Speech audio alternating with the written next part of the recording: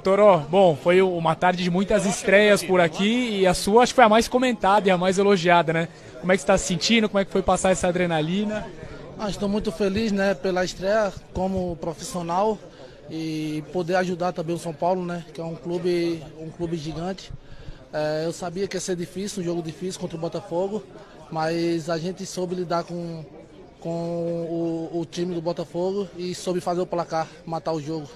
Doutor, você imaginava num espaço curto de tempo, você lá na base do São Paulo, de repente hoje, o Pato no grupo, você entrando, quase fazendo um gol. Que mudança de vida! Ah, foi, foi rápido essa mudança, né? Que teve outras coisas também. Eu estava para ser emprestado para Chapecoense. E o irmão do Cuco, o Cuquinha, é, me viu e gostou muito de mim, né? Falou de mim para ele.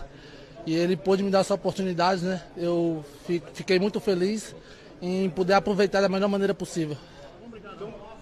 Conta isso aí pra gente, o Cuca revelou na, na, coletiva exatamente isso. Quando é que você ficou sabendo, como é que você viveu eh, essa notícia, né, de que, olha, o Cuca pediu para você ficar, ainda hoje já te dá essa oportunidade, doutor? Ah, foi tudo rápido, né? É, no dia eu estava treinando e estava sabendo do interesse da Chapecoense também, né? E tinha o interesse de todos em querer ir para Chapecoense para pegar mais experiência, é, ter mais sequência de jogos.